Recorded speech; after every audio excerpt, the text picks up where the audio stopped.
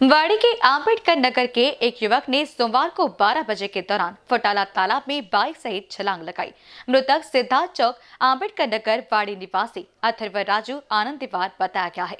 घटना की जानकारी अम्बासरी पुलिस को मिलते ही पुलिस फटाला तालाब पहुँची। Trimurti Nagar civil fire station की टीम करीब एक बजे पहुँची व जाँच में जुटी। पल्सर बाइक क्रमांक एम एच इकतीस एफ़ एम एक ज़ीरो आठ आठ को तालाब से निकाला, लेकिन अतर की खोजबीन दोपहर तीन बजे तक जारी थी।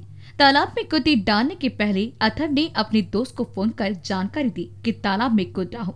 वह फ़ोन को बंद कर दिया। अतर के फ़ोन को सुनते ही उसके दोस्त सनी वाफमारी, हिमांशु पाती सुजल निकोसे को सवा बारह बजे अथर ने तीनों दोस्तों को फ़ोन लाइन पर लेकर तालाब में कूदने की जानकारी दी।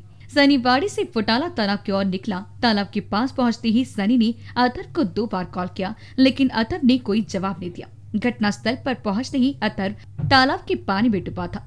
घटना की जानकारी वाड़ी में हवा के जैसी पसरते ही फुटाला तालाब की ओर वाड़ी के युवक व परिवार दौड़ा। अम्बाजरी पुलिस जाँच कर रही है। अतर के पिता राजू एमआरटीसी में एक कंपनी में कार्यरत है।